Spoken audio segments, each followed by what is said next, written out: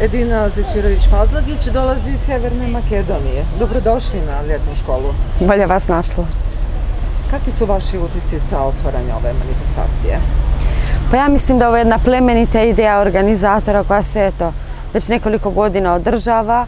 Mi smo imali učesnike, ovo nam je treća ljetna škola i svake godine su učesnici uvijek zadovoljni, stekli nova znanja, nove vještine, stekli nova prijateljstva i praktično mogu da kažem da svake godine pa nama ne treba ni par sati da napravimo taj spisak ko će ići na sljedećoj školi, pa onda imamo učesnike koji žele ponovo da idu, a nekad mi postavimo pravilo da treba uvijek nova i nova e, djeca da dolazu, međutim uvijek moramo da izađemo u susret nekoj djeci što su bili da bi ponovo, da bi ponovo išli jer su prezadovoljni od ljetne škole.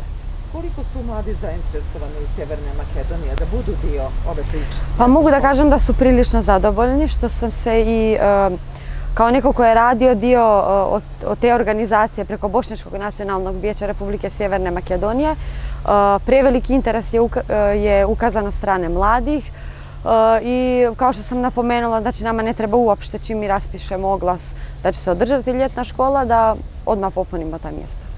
Šta je to što djeca žele od ovog projekta? Pa ja mislim da ovaj projekat, pa skoro pa savršen, jer e, to jes ljetna škola, jes ima predavanja, međutim, e, predavanja su mnogo praktična, znači, ta vrsta neformalnog obrazovanja kao neko ko se obrazovo, znam da se na ta mjesta to što naučiš preko neformalnog obrazovanja, to ti zauvijek ostane, jer je uvijek sa družbom, sa, sa stisanjem novim prijateljstva, imaš pozitivno iskustvo i to nikad ne možeš da zaboraviš. Hvala vam puno na obrazku. Hvala i vam.